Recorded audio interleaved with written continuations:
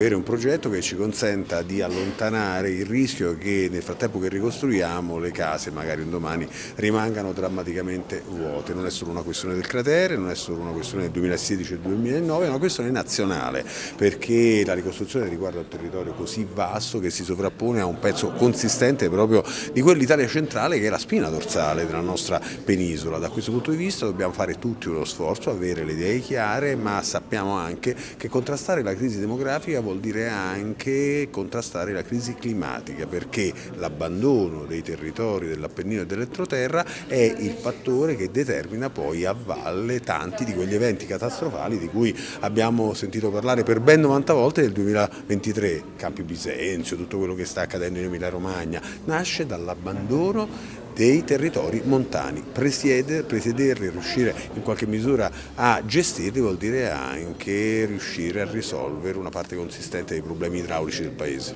Lei è soddisfatto del passo che sta tenendo la ricostruzione, perlomeno da quando è commissario? Sì, guardi, a ottobre abbiamo raggiunto il record delle liquidazioni fatte in favore delle imprese, quindi piedi per terra, senza vanità, però sappiamo che ormai abbiamo preso il giusto abbrivio, questo vuol dire che i dati danno per certo che quell'opera di semplificazione e di vicinanza ai comuni, ai tecnici, ai professionisti era stata giusta per arrivare a vedere la luce in fondo al tunnel. Pensate, no? la scossa del 30 ottobre a Norcia è stata devastante devastante ma non ha prodotto vittime, quella del 24 agosto che pure era importante ma meno significativa almeno dal punto di vista della scala Richter ha creato la tragedia che sappiamo proprio perché quelle case erano state concepite senza attenzione evidentemente verso i principi della sicurezza. Questo vuol dire che la sicurezza sismica è un grande dovere della nazione verso non solo i propri cittadini ma verso anche se stesso e verso il bilancio pubblico. 600 miliardi di euro noi abbiamo nel tempo dovuto spendere per ricostruire case